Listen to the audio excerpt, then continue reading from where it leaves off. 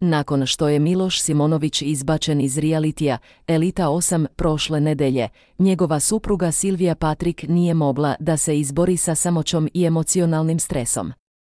Njih dvoje, iako su važili za jedan od perspektivnih parova za reality, nisu uspeli da se dovoljno nametnu među ostalim učesnicima.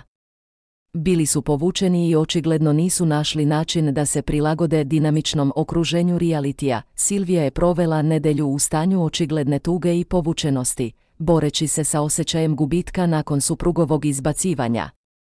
Tokom žurke koje je usledila, odlučila se na drastičan korak, koji je šokirao i publiku i ostale takmičare.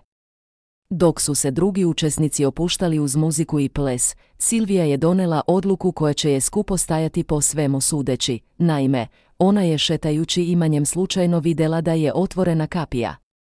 Nije oklevala i odmah je pobegla.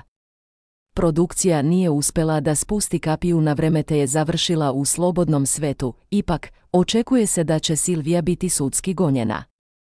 Dobro je poznato da produkcija zahteva da učesnik zbog samovoljnog napuštanja realitija pati odštetu u visini 50.000 evra.